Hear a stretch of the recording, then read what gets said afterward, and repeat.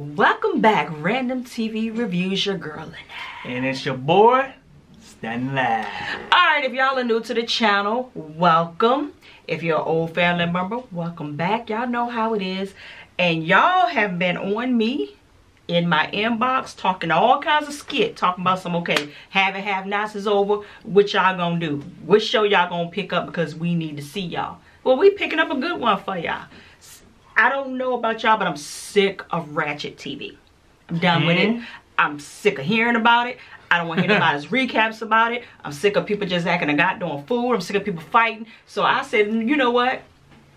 But y'all always tell us that we are our couple's goals, which I told y'all stop saying that nobody should be your couple's goals. You should be looking for inspiration from different people, but don't yeah. make nobody your goal because you don't know what the hell they're going through. Exactly. Um, and what they done been through to, yeah. to have what they have. So we just gonna talk about a show about black love, basically. And yeah. it's um, Teyana and Iman, which I have been following them, not closely, because I don't follow any celebrity closely.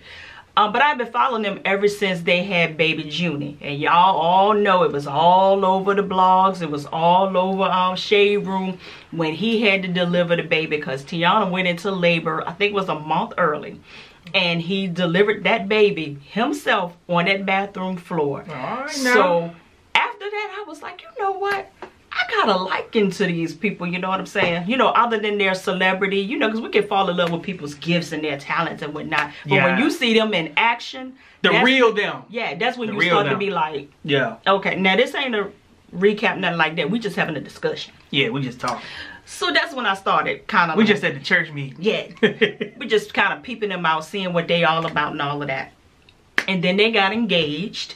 And then eventually they got married in front of the bathroom where baby Junie was born Now, If that's not a testament to how much that baby means to the both of them uh -huh. and how her very presence and her existence has changed their lives, I don't know what else will. Yeah, because I, I, you know, I don't know not near woman that will have their wedding right there because y'all in y'all mind it's, it's the church and you got on your big white dress or and garden or something. and, and, you got your train coming from the back that's that's reach out to the street and you walk down the aisle and you want everybody to see you coming. It's all about you. It is. And for her to do that yeah that's a, that's some whole nother level that's a whole right nother level right there man yeah so um other than them showing you their celebrity, they're showing you how it is that they navigate around life. Just being normal, Iman and Teyana, just how yeah. they operate as a family and as a unit. And one thing that I did admire right off the bat, they don't have a whole lot of yes men around them. They mm don't mm-hmm. have a whole lot of groupies and a whole lot of fanfare around them. They have their family around them. Mm -hmm. Somebody that's going to check you when you're wrong, yep. tell you the truth, and I mean, and it's balanced. It's not like a whole bunch of her family around and a whole bunch of his family. It's very blended. Her mother is her manager. Iman's dad is like the chef and he looked like a cook too. Now don't he? He like a black chef Boyardee. You know what he looked like? That uncle that be at that cookout and he always pulling something out the cooler, but you never know what it is. Yeah. But it makes its way on the grill.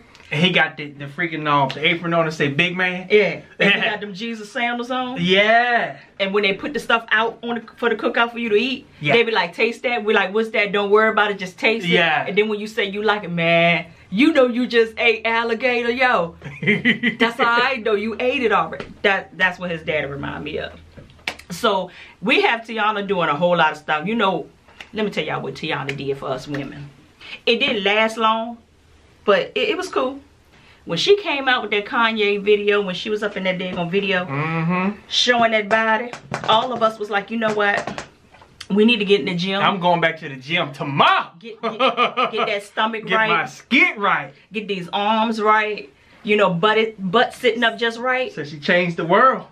For like two weeks. Yeah. For like two weeks. But usually how long it lasts, a week or two when, it's when stuff happen like that. Yeah, and you go, yeah. you go, you change your whole life for... Just because you got yeah. Okay. Yeah. So other than them trying to navigate through life, listen, I was impressed by the fact that they go to the grocery store. I was like, y'all go to the grocery store? I. So I don't know if that was in Atlanta or that was in LA where they went to the grocery store, but yeah. I was like, y'all going, See, y'all hit me in my inbox and let me know, do how often y'all go? And is, did y'all she like. She said once a week. Well, she did say once She a said week. she said once a week. like, and I'm is a big deal? and I'm surprised I ain't hear nobody screaming. That's what I said. Yeah, nobody screaming. It's like they walking around like they were us walk through the grocery store. Hell, we be out in public and we get it sometime and we just Yeah. YouTube. Yeah, so I don't. Yeah, I don't. how y'all do that? I don't know. I don't know. Maybe the grocery store was cleared out and we didn't see. I don't know. Yeah. But um at some point you don't know who in the relationship with um Iman. Is it Teyana or Baby Junior? Cause Baby Junior, listen, that's her daddy. Yep. And she gonna let you know that that's her daddy.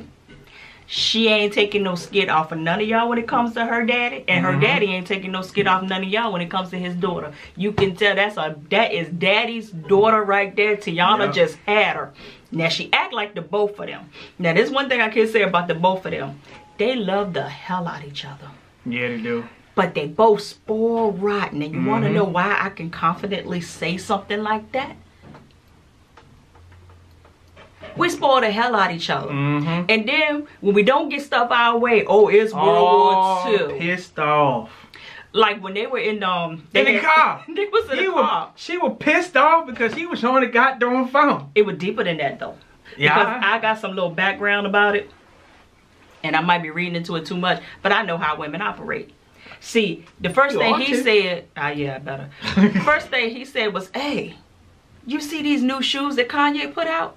And she kind of looked like, see, do y'all realize that Kanye is supposed to be pushing and releasing her next album? And he's been dragging his feet ever since she was in that video of his when she blew up like that.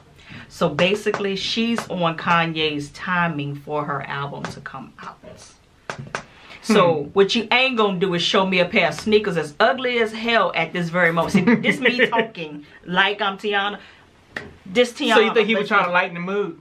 No, he was really he was really looking at the shoes. See, guys don't think like that. But in her mind, them motherfucker got time to create Put some shoes? goddamn shoes. But you can't put my album, my album. Yeah.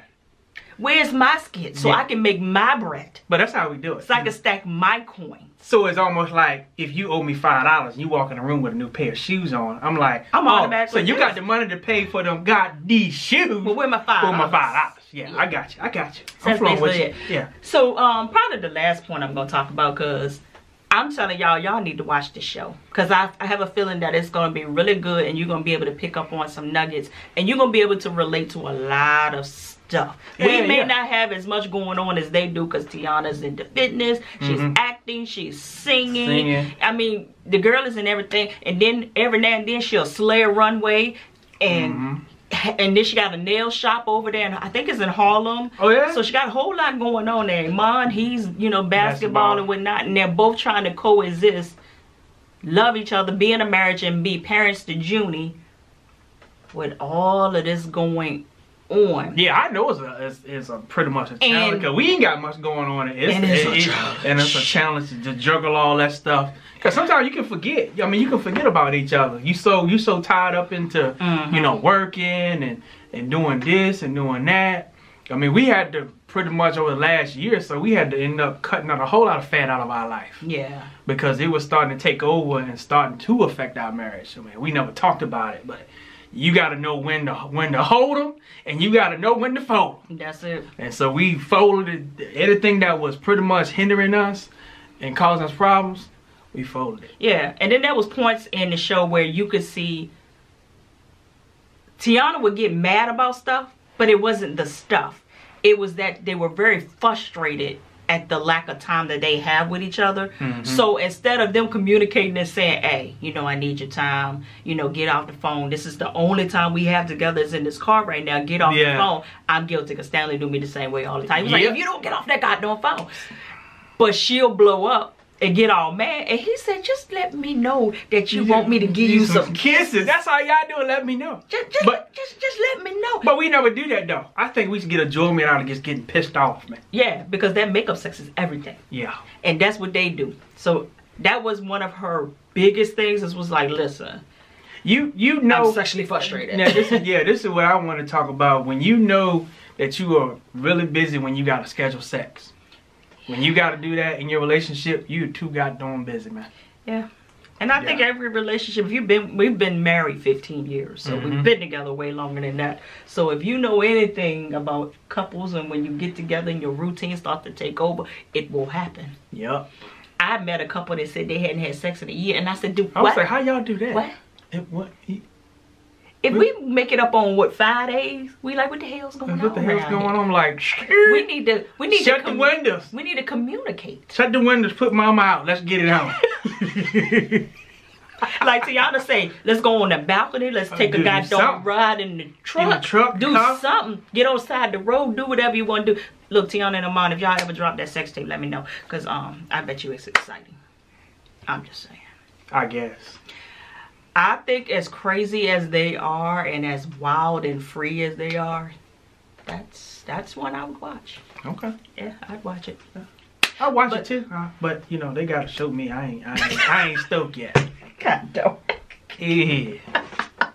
Yeah. But anyway, I think it's a really, really good show, and I think y'all need to um Yeah, but like you tune said, into it. Yeah, like you say, you can pick some bits and pieces off of it and apply it to your relationship. Yeah, and just See keep if in it mind, yeah. it's the first one. And the reason that they said that they decided to put their relationship on Front Street was because I think they probably are looking through the same lens that people like us look through. Mm-hmm. They look out, and there's nobody that's being highlighted unless you're drama, Drama, filled. yeah. You got a whole bunch of Marriage mess all going messed on. up. You got baby mama drama. Cheating. Yes, you got to have a whole lot of scandals that, going on to get highlighted. And they're like, We just normal couple. we just normal. normal we- successful couple. Yeah, navigating through this thing called life. Got a baby that we love and enjoy. She said she ain't trying to have no kids no time soon.